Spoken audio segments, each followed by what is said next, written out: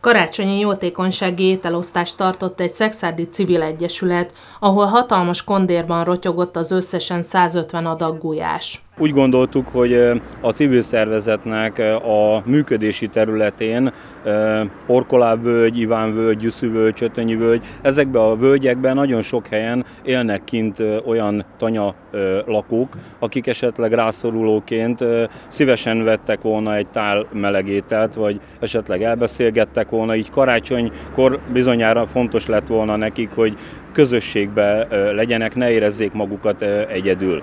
A szervezet kiemelt célja a hátrányos helyzetű emberek támogatása, ennek céljából is jött létre a civil egyesület idén. Egy picit alul maradt az érdeklődés, ettől egy nagyon picit csalódottak vagyunk, de azért hagyományteremtő szándékkal ö, újra meg fogjuk próbálni jövőre is. Civil szervezetünket idén augusztusban ö, jegyezték be, és ö, lehet, hogy ö, esetleg emlékeznek rá a szexárdiak, a Csatári Torokba augusztus 25-26-án tartottunk egy Csatári Sokadalom nevű fesztivált, ahol két nap alatt közel 1600 látogató volt, és úgy gondoltuk, hogy akkor a civil szervezet folytassa ezt a karitatív tevékenységét.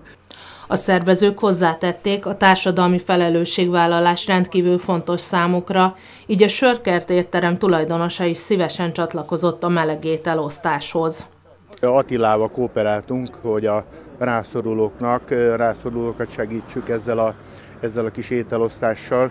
Ebbe a, ebbe a lelketlen, szívidegen világba szükségeltetik, hogy ez a régi tradíciószerű és egymás segítése, ez újra aktualitást nyerjen, és és ezt, ezért próbáltuk az egészet.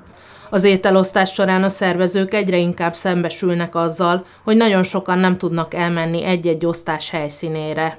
Mi elkezdtünk egy tanyaprogramot és az utcaprogramot a Kórház Lelkészség Püspök Atya javaslatára, és mindenhol mondtuk. Tehát nagyon sok ö, rászorulónak, tanyán lévő embereknek. Nekem az a véleményem, hogy vagy messze van és nem tudnak idejönni, vagy, vagy szégyellik, hogy itt látják, hogy ő, ő idejön egy tál étel, ételért.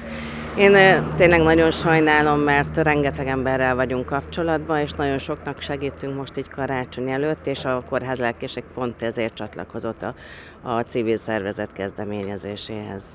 A nap végén a megmaradt adagokat az önkéntesek helybe vitték, így mindenki részesült belőle.